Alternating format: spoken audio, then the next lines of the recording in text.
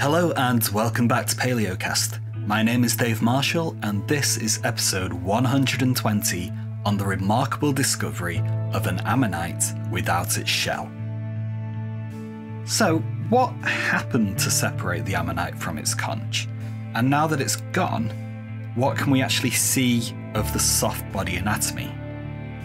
Joining us to answer these questions and more is Professor Christian Klug from the University of Zurich in Switzerland. But before we get into the episode, just want to wish you all a happy 2021, and here's hoping that this year will be much better than the last. Thanks so much for all the messages we've had through recently. It's been great talking, and I'm so glad that this podcast has been something to look forward to for so many of you. It really does mean a lot to get that feedback. It's also why I'm feeling a bit guilty about only putting an episode out now in February, but sometimes this just happens. It's the start of a new term, and interviewees all had hectic schedules, with the festive period and also a global pandemic to deal with. But we're back on track now, so expect more great interviews in the weeks and months ahead. As always, we have pictures on our website that accompany this episode, and this really is an interview where you need to be looking at the pictures. Whether that's to trace cephalopod evolution on a tree or just to have a look at this bizarre specimen. And as I'm sure you're all aware by now, likes, shares, comments, reviews, and donations are all appreciated and helps this scientific content reach new audiences. Thanks for helping out, and I hope you enjoyed this episode.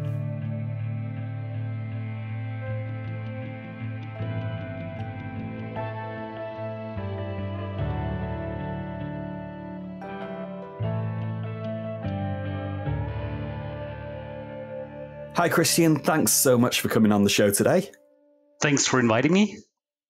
So, we always like to get to know our interviewee first. So, I'll just ask my standard opening question of how you got into the field of paleontology. Well, actually, I guess like so many people, I was intrigued by all kinds of natural things when I was a boy. And one day, my uncle actually went up to me and he said, Oh, Christian, do you want to collect golden snails, in German Goldschnecken? And I was, of course, totally enthusiastic and didn't know what this was. And it turned out that they were actually early Jurassic ammonites, which were pyritized. So we went there, and back then he had actually a really fancy sort of race car like thing. And we went to this clay pit in, in southern Germany and we found really small but really cute little pyritized ammonites. And I guess this is more or less when when it all started. And some years later, I actually found the same place, the oldest Brachyuran crab, which was then named after me. And I think at the latest by then was decided what kind what would happen to me at later years, so to say. Wow, that's awesome. Um, I would like to ask about the ammonites and the crab, but I'm more interested in this car. Do you know what it was? Oh, I don't recall actually. You know, it's so long ago. I'm I'm so old in the meantime. It's like it must have been early 80s, I think, like 82, 81, something like that. And it was not a Porsche. It was not a German car. I think it was something so maybe Ferrari, then. Japanese. no, no. It looked it looked really fast. Yeah, nice. Um, my early fossil hunting wasn't done in a sports car, so um, I'm a bit jealous. But never mind. Uh, what would you be doing then if you weren't a paleontologist? You mean as an, an alternative for what? Yeah. Um, we'll run your life again. You said golden snails, not interested. uh-huh, okay. What became of you? So my my plan B always was becoming a teacher, but I'm kind of happy that I'm what I am today because I actually do teach and I do enjoy that as well. And I do research and I think this is one of the greatest things you can do. So you're uh, a professor now at the University of Zurich. Um, Yeah. Where do your research interests lie? What's the normal day like for you?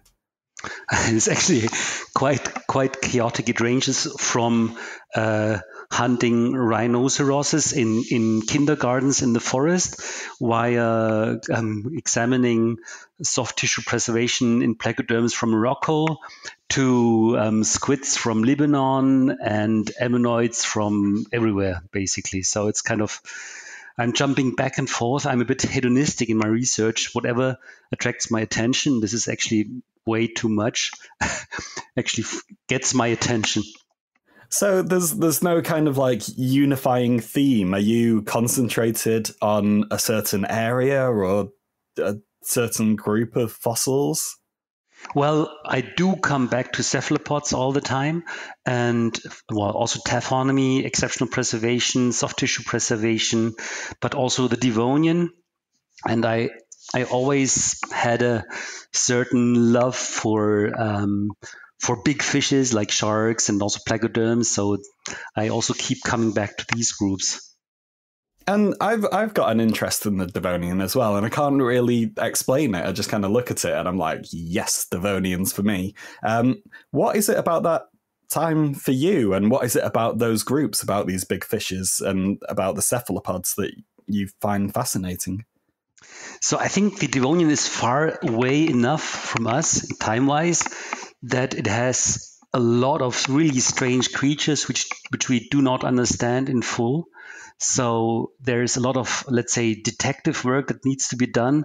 A lot of questions we might never be able to to to um, find good answers to, and there's just enough awkwardness and uh, strangeness and distance to make it really interesting and, and intriguing. I find. Okay, so one of the groups that you work on are the cephalopods, and this episode is going to be on an ammonite or ammonoid. What what's the difference between all of those terms? Um, so, can you give us an introduction to the world of cephalopods? Uh, okay, so the, the, the ending ammonoid, ammonite, this basically refers to the group. So ammonoids actually encompass all the ammonoids, while the ammonites um, comprise only those which actually are from mainly Jurassic and um, Cretaceous times. So it's a kind of a taxonomic um, term, if you want. Is so is ammonite a subset of ammonoids? Exactly. Okay. And uh, what are some of the other different um, cephalopod groups? So, how do ammonoids differ from, say, belemnites or um, some of the other squiddy things? Okay, so maybe I give a short overview over um, cephalopod evolution, which started in the Cambrian. So there's a bunch of uh, localities in the Cambrian, and actually one of my PhD student uh, students, Alex, is working on this and is going to publish some exciting new results there. So we have these very small conical shells at the beginning, which were found pretty much worldwide, and which have very narrow chambers and which are actually quite small and have a ventral siphuncle. And these gave rise to a bunch of really interesting groups in the Ordovician already, and some of which re- um, probably reached size of up to 10 meters. And one of those groups that originated in the Ordovician is the orthocerids. And they are important because they later gave rise to the bactritoids. And bactritoids are kind of a inconspicuous little group which is not known by too many, which has rather slender shells, also conical, with a ventral siphuncle. Some are coiled, some are straight. And these um, gave rise again to um, what uh, the coleoids, so including squids, belemnites, and so forth on the one side. And on the other side, there's the ammonoids, which simply continued coiling their shells and then became what we know as ammonoids. So um, but actually, the, uh, the, um, the they are paraphyletic. So there is an ongoing discussion whether we should include um, the bactritoids maybe in the coleoids, and then the ammonoids would be coleoids too. So, but now this is maybe a bit too too complicated here, too too special. I don't know. And, oh yes, and it's one of those things that you need you need to see the tree out in front of you. So we'll try and we'll try and get that tree, and then it's so much easier to follow than just with audio. True. But um, yes, so let's um, just focus on the ammonites then. Um, when you see an ammonite fossil, typically, what is it you're actually looking at? Um, so, well, usually we, we find the outer shell, which is uh, usually coiled. And um, the cool thing about ammonites is actually they kind of carry their entire life history inside the, their shell. So you have usually, well, if it's well preserved at least, you have the embryonic shell in the middle, which starts with a more or less spherical structure, and then the following whorls wrap around it. And if you if the shell is not preserved, you can see the suture lines, which are sometimes really beautiful and which are probably one of the reasons why many fossil collectors and um, paleontologists alike do like them. So those the suture lines are the wiggly, like internal walls of each of the shells.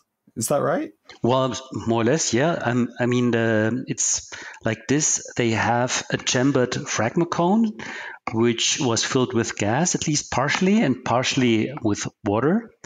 And these walls, they're actually folded, but they're only slightly folded in their center and towards the outside, so towards the, the, the line where they touched the outer shell wall, so to say, they became more and more folded. And this is what we call the suture line, where they touch the shell wall. Okay, and and there's something in the evolution of that, isn't there? Yes, there is. And it becomes more and more complicated. And the first suture lines, they're actually just gently wavy and look like not much. And this changed quite quickly and they became, became um, much more complicated until it got really insane in the Mesozoic. And what advantage did that give? Did it give any, or is it just the just one of those things that happens?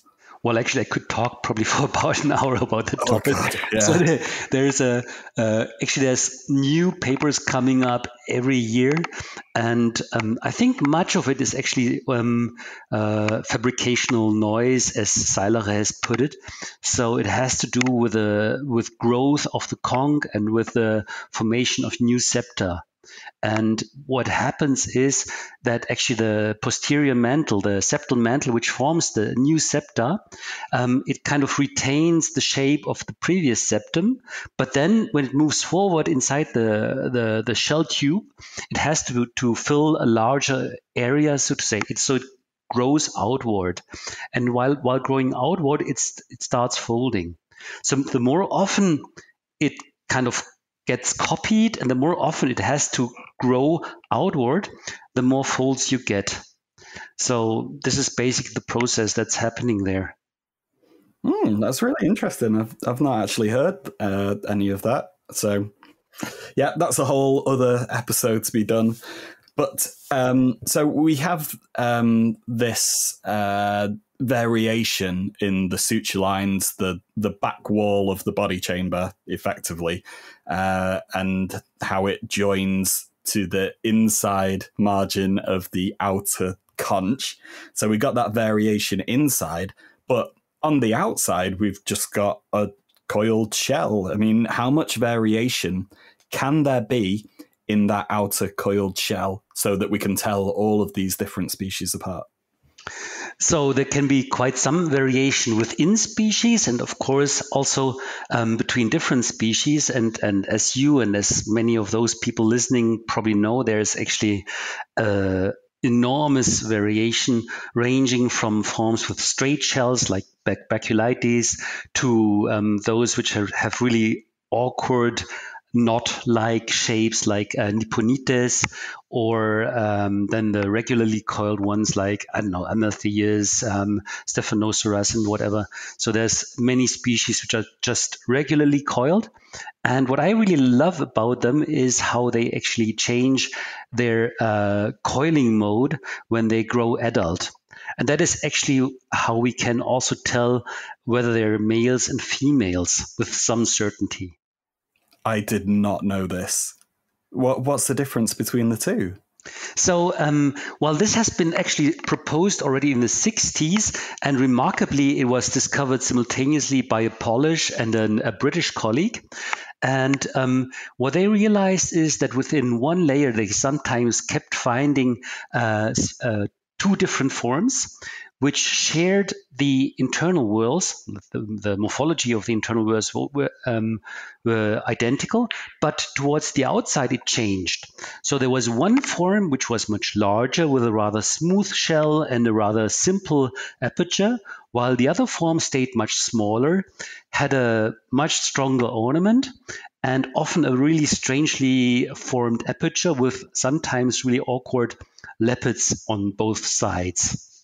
And these are um, probably what we think is the, the males. And this is supported actually by our new finding. Well, we'll get onto that soon. Um, I would like to know do we know what the conch is made from? Is it always the same?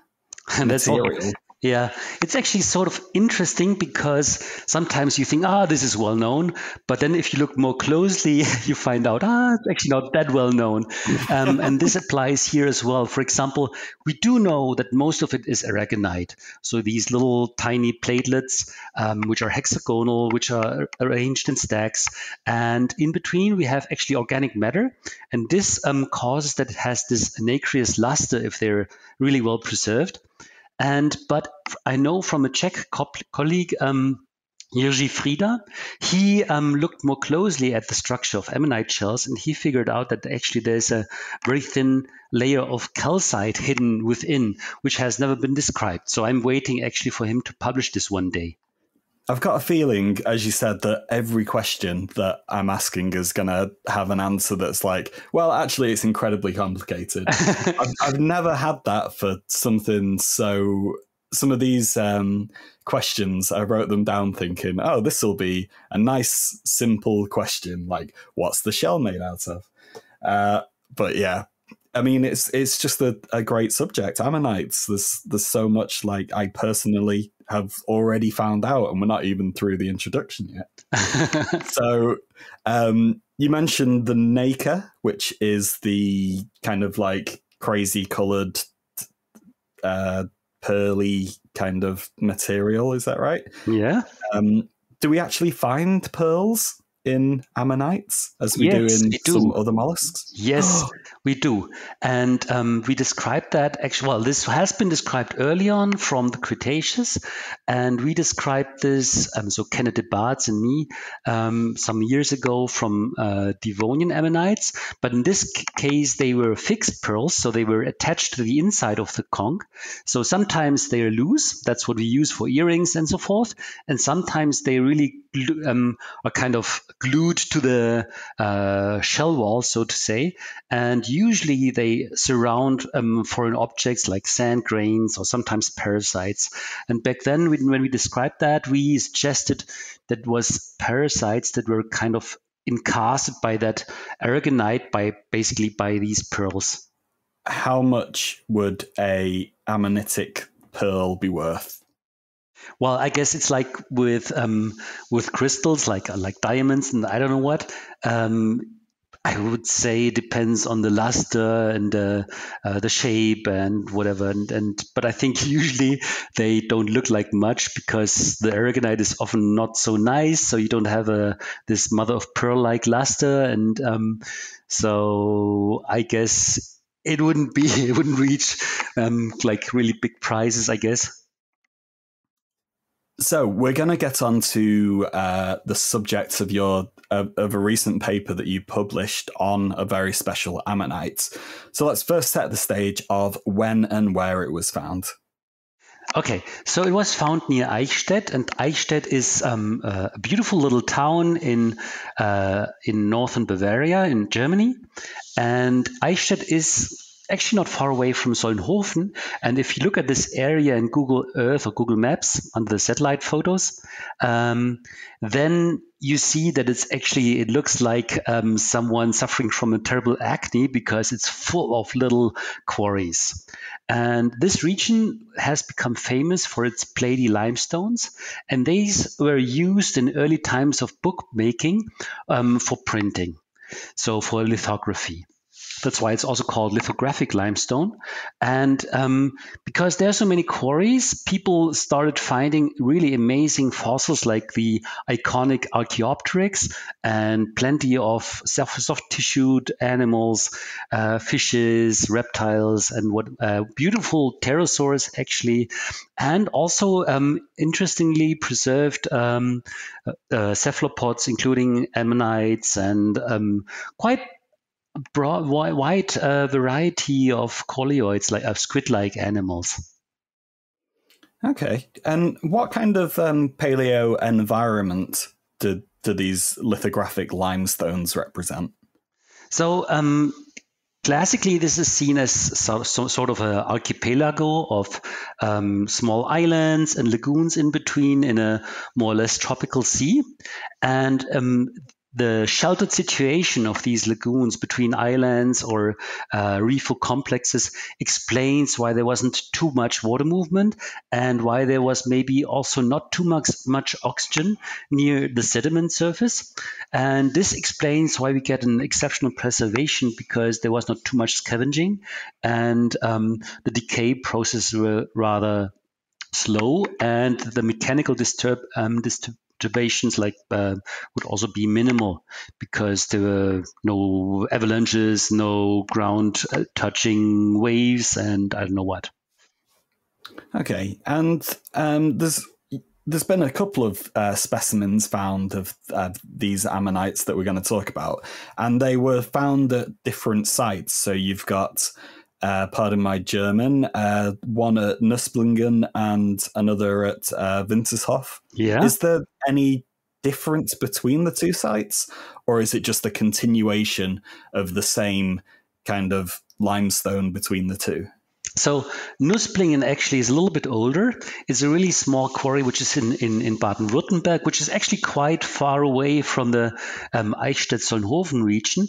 But we have the same kind of preservation. It's a bit older and we have quite similar fossils there. Wintershof is just next to Eichstätt, so it really belongs to, the, to this area. And um, well, it's interesting because of the similar preservation, and we use the specimen for Nusplingen mainly for for uh, comparison. And in Nusplingen, it's like this, like like in Painten, that we have a different organic preservation. So um, stuff like uh, the, the, the jaws, which are which have been chitinous, they're actually they appear in a, in a brownish to blackish substance. So they're actually much better visible than than is the case in in the Solnhofen Eichstätt region, um, where often we do see the structures, but they don't have this neat brownish col- uh, color. Okay, so now that we've set that stage, let's focus on these remarkable specimens that have been found themselves. So, what is so special about them?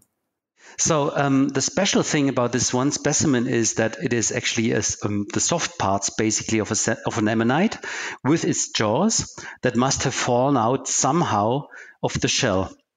And this is something which I have never come across before and which is intriguing by itself. But I must say, at the beginning, when I saw it, I was like, oh, cool, interesting, but I have no idea what I'm seeing exactly. Um, so yeah, we we don't normally get soft parts preserved at all, do we? Um, but this time it's it's completely the opposite way around. We normally find the hard parts without the soft, but in this instance, we've got the soft parts without the hard. Well, that's not entirely correct because we do have the jaws and they are hard. And that is actually how we know that these are ammonites because the lower jaw of many of these Jurassic and um, Cretaceous ammonites are often made of calcite. And this um, makes the likelihood of being preserved very high. And they're very typical. And this is why we were actually able to determine the genus of this ammonite. So we know which kind of conch would belong to that soft part, so to say. Um, so this was quite important, and um, this is how we knew at all that this was a was an ammonite. Okay, that's amazing. Um, but in general, what did we know about the soft parts of ammonites prior to the discovery of uh, these ones from Nusplingen and Wintershof? Well, there's uh, very little we, we, we knew. Um, there's a couple of cases of uh, uh, stomach contents that are that are preserved. For example, also from the Solnhofen-Eichstätt region, from Lebanon, and also from from Russia a little bit. And from Russia, we also know ovaries preserved with embryos of ammonites. And a couple of years ago, I described soft parts from the Cretaceous of Germany, where we do see quite a lot, like the also the entire digestive tract. And I suggest that we do see um, the brain and maybe the base of the arm crown but that was not very certain. And there's another um, specimen that has been actually no, it has. Yes, it has been published, but not in great detail from the Middle Jurassic of um, of the UK. Wow, I didn't really realize it was that much we knew about the soft body. Yeah, well, actually, it's not that much because if you take into account how many millions of ammonites have been collected by private people and um, by paleontologists, that is actually just a few places and specimens which do show soft parts. And there's a lot of things we don't know. Like, for example, we still don't know what the arms looked like. Okay, but with this specimen, what can we actually see in this? Do we do we have the arms in this one? That is actually also intriguing because the arms are not there, but the question is are they not preserved or do we just not see them because they maybe are lying underneath or they have been been in the other plate which has not been found. So there's different options or they were ripped off in, in the course of uh, the soft parts being removed from the conch. So I don't really know what happened there. But besides, we do see a lot. We see the entire digestive tract. And this was actually how I started. So um, we well it was obvious that there's the jaws and the jaws they must be at the anterior end of the body and then I, I kind of tried to follow the logical sequence of body parts which we know from cephalopods. And then there's one thing which is kind of interesting because the esophagus is often covered by a thin sheet of chitin. And chitin is often preserved in phosphates, and the phosphates, in turn, um, they shine when we um, put a UV light onto it. And this is what I saw when I looked at the UV photos which were ta- taken by my co-author Helmut Tischlinger. Okay, so you managed to trace all of this digestive track all the way back. Um, were there any surprises in the anatomy that you could see? Were there were the things that you found that had never been seen before that you had to interpret based on I don't know what we know from nautiloids, for example? So. Um, as I just started to explain, I followed the digestive tract, and then the next thing I could identify was actually a so-called cololite. So this is basically uh, in the making, which is still in the intestine. This is how I I identified the the intestine, and this helped me identify in term in, in turn the the stomach, which is quite a reasonably big structure. And in in cephalopods, it's like this that the intestine um, actually leads to the back of the mantle cavity. And um, this is also where the the gills are located, and that is why how I could identify those. And in the end, I had a strange structure which was actually sort of underneath the stomach, And I wasn't so sure what that was, but I was kind of guessing that this might have to do with the reproductive organs because they are usually way back in the body chamber.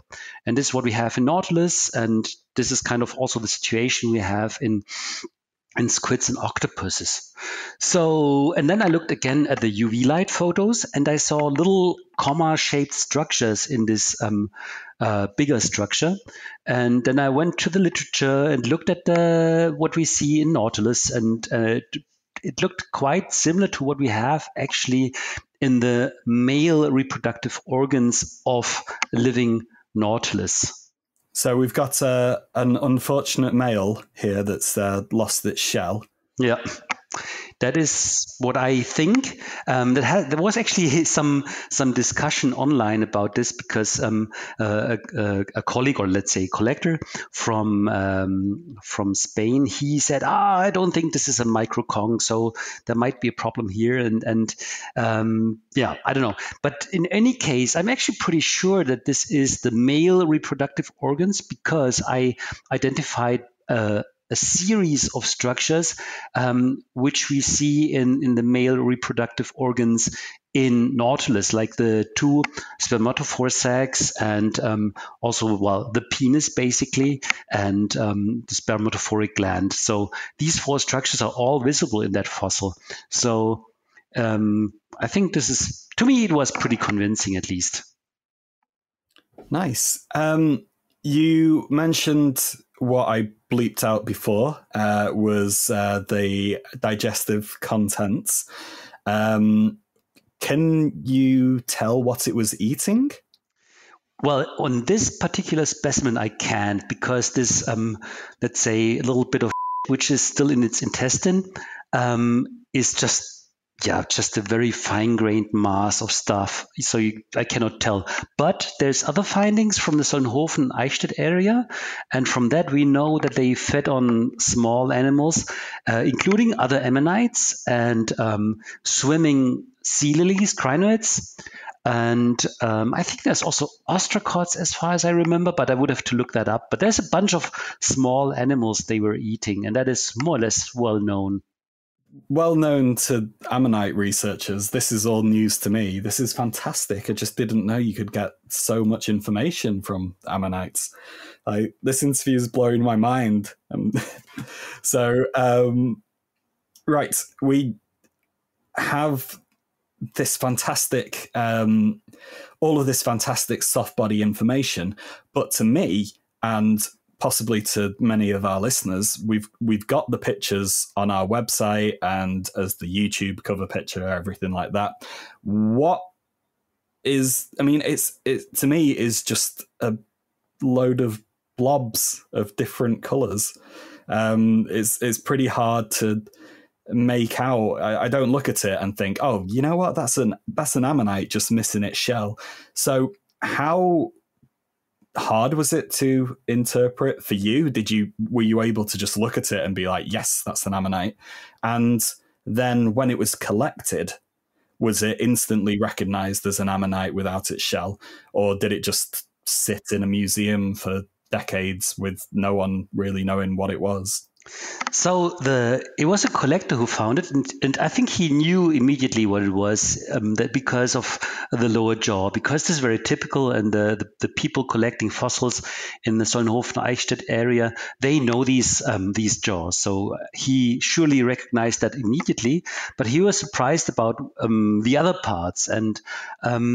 I then got the photos um, via Günter Schweigert, who's also co-author, and then actually, I, as I said, I, I recognized this as soft parts, but um, I wasn't able to tell right away what is what. And um, what I usually do in, in such cases is I first make some drawings and then I tried to homologize part by part. And that is what I did. And uh, actually, it started with the esophagus because, as I said, this was shining under UV light. And the esophagus has a strange kink. And this kink I knew from other ammonites and also from Nautilus. So this helped me to identify this. And then a little later, I discovered this little cololite, so the um, unready, so to say.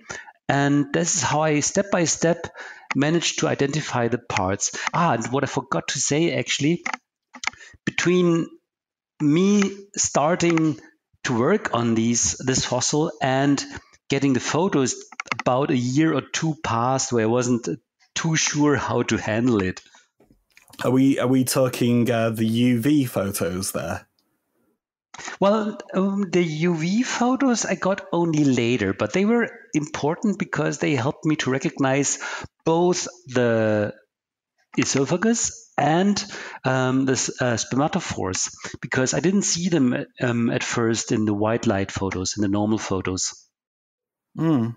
I, I find it really interesting. We've done an interview on um, UV light, uh, especially in terms of what you can see in dinosaurs. I think it was uh, that interview, um, and I'm really interested in it as a new um, method for seeing more in fossils.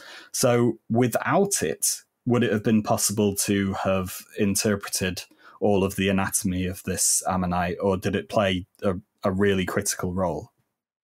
It actually played an important role because I think I would have had much more trouble identifying the esophagus. And you just see different things and you see the things also differently. So it helps you getting ideas and helps you homologizing. And sometimes it shows details uh, much clearer and crisper. So you can really um, figure out what you're actually looking at. Um, yeah, so I think it's like when you have an illness and you ask two doctors, that's sometimes better than asking one. You know, like you have, you have two, you get kind of two different opinions, and this helps you figuring out what you're actually looking at. And this might be even well, this is probably especially true for soft tissues, no matter if they're from a funny dinosaur butt or from from a ammonite so reference to the dinosaur butts there that was the new paper um, by Jakob who's also been on this show and uh, that was uv light on a psittacosaurus mm-hmm. that revealed details of its cloaca so that's some big news if you haven't already uh, seen that one go check that out dinosaur bum um, but back on ammonites um, you mentioned before that the the crown of arms. So, in I guess layman's terms, the tentacles. I know they're not tentacles. That's a very specific thing. But the the wiggly arms at the front, we don't know um, about those. But is there anything else that's still left unknown about their anatomy? Any specific like um, organs that have never been seen before? Um, that's a good question. Um, well, I actually, there's a lot of things we do have because, for example, interestingly, the um, the brain is encased in in a also in a chitinous uh, shell, so to say, which is also preserved occasionally, and also in this specimen, I think there's some remains of it seen. The eyes are not very well preserved, but I think there is um, remains of the eyes, or at least of the uh, optic part of the brain preserved. And but the thing that would really interest me the most is um, the the arm crown, as you said, because we can make kind of let's say estimated guesses that they had 10 arms.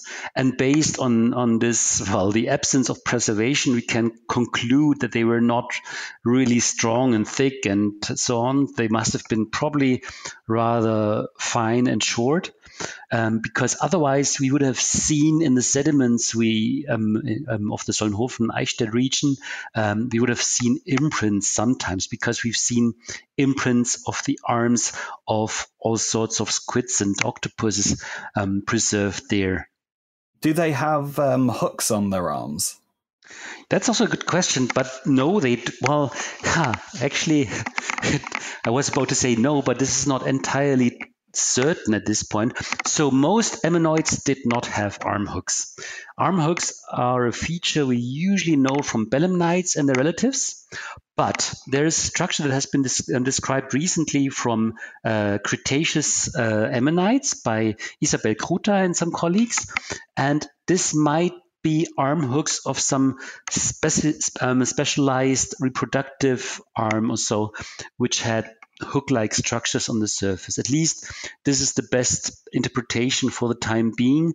But this is just, just this one um, genus where this has been described so far. Otherwise, there's no hooks.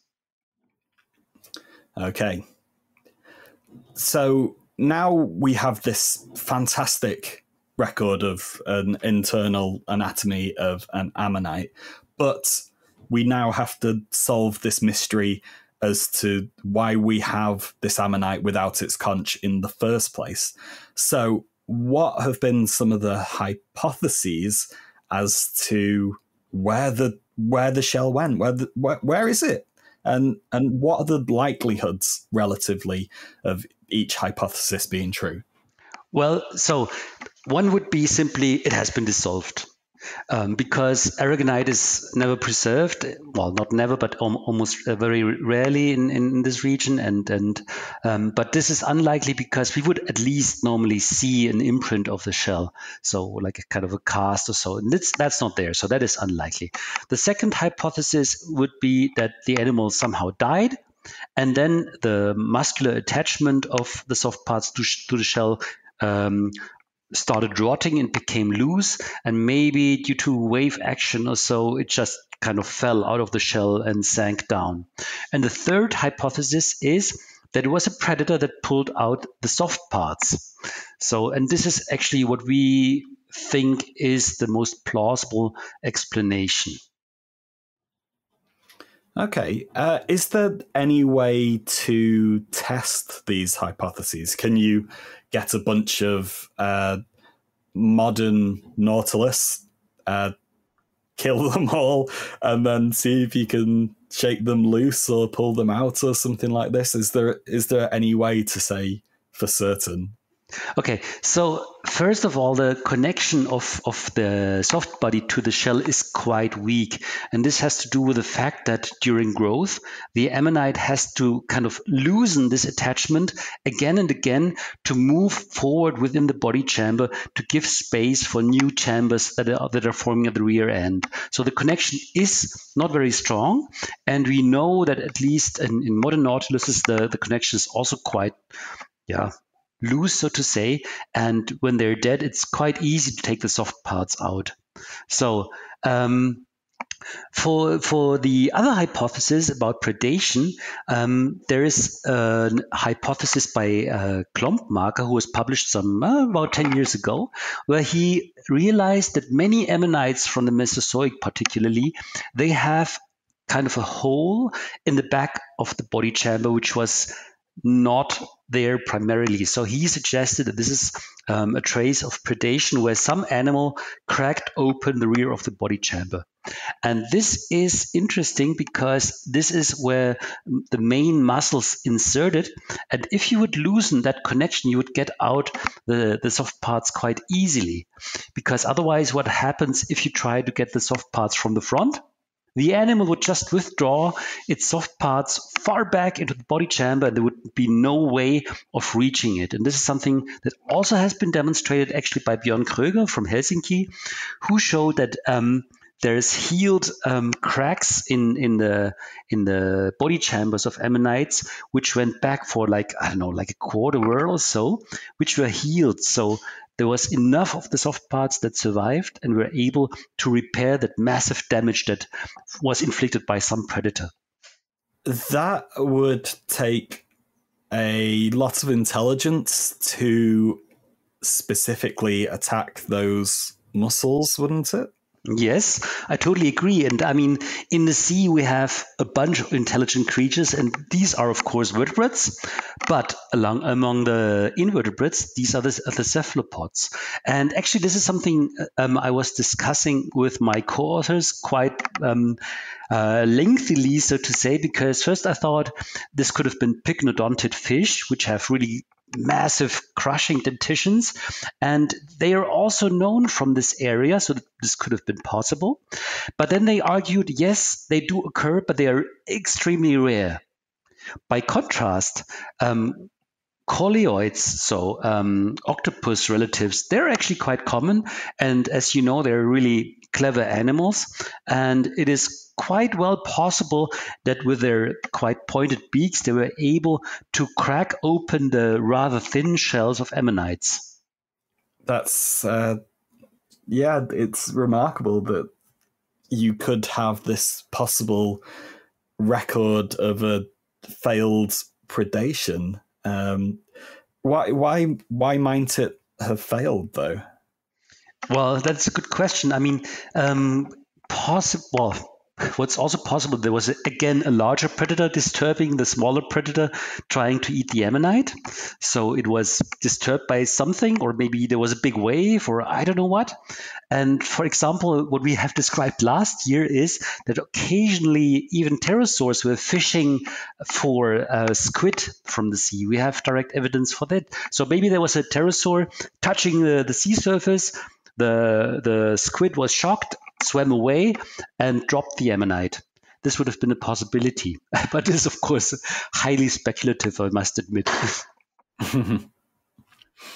um, I find it interesting as well that um, we have this specimen preserved um, without its shell, whereas the other ammonites that might have died in their shells and sank to the bottom don't have the soft parts as well. Um, do you think that in this location, or I suppose in any other location, we'll find a 100% complete ammonite, soft body, pretty much the same as you've got here, but also the shell with it? Well, um, I think if we really have the shell preserved, then we probably wouldn't see it simply. So what we need is really this kind of um, Fossillagerstätte as we have in um, the Solnhofen-Eichstätt area, in Nusplingen, but also in, let's say, Christian Malford or in uh, in Lebanon, or we described recently fossils from um, from the late Cretaceous of Greece. So if you have these lithographic limestones with these very flat um, limestone beds and with an organic preservation of soft tissues, I think this is where the chance is the greatest that we do find something that is even more complete, where we have, let's say, an imprint of the conch plus um, the soft parts preserved in one way or the other. Uh, is there still a lot we don't know about ammonites? Well, I mean, if you look at the fossils, you see, okay, I kind of could make out what's what, but you don't see a great lot of details. And now this is just one species out of thousands, and it is also lacking a lot of detail. Like, for example, I would like to see more detail of the brain. I would like to see the precise position of the eyes. It sounds like a simple thing because, I mean, if you look at vertebrates, it's always immediately clear where are the eyes. But in the case of ammonites, no, it's not clear. Are they above the jaws? Are they next to the jaws? Are they in front of the jaws? What do they do when they um, close the the jaws, let's say, to protect the soft parts? Did they pull the, the eyes behind the jaws or were they still peeking out? There's, there's so many open questions. Um, it's really insane. I think every new soft tissue ammonoid uh, has the potential of revealing interesting new information. And what would you say to a student or someone that is considering studying ammonites? You mean like what to do? No, uh, how to enthuse them with your love for ammonites. yeah, I think what's cool about ammonites is, first of all, there's a lot of things that are still unknown, although there's probably thousands of papers that have been written about them.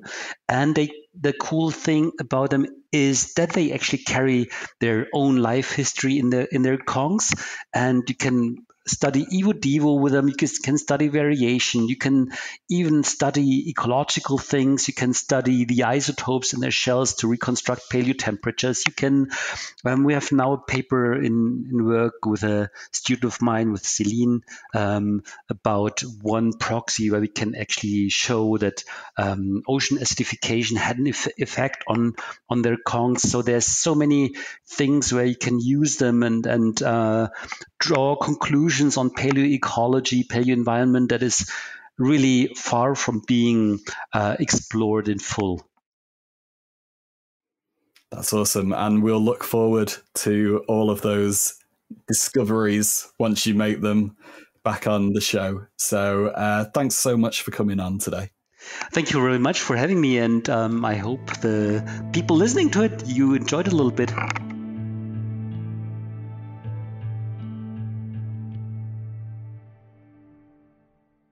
Palaeocast was brought to you by Dave Marshall and Liz Martin Silverstone, with contributions from Tom Fletcher, Vish Venkat, and Elsa Panciroli. Music was composed by Patrick Kendall Smith. Palaeocast was made possible by funding from the Paleontological Society and the Paleontological Association, but the show now relies on funding from you, the listeners. So, if you've liked this episode, please consider donating, and thanks to everyone that's helped out so far. Please visit palaeocast.com for the supplementary material to this episode and for our archive of past programs, and follow us across social media platforms to get all the latest news. Finally, if you enjoy our podcast, then please explore all of our video content on YouTube and follow our other projects, the Virtual Natural History Museum and the Palaeocast Gaming Network.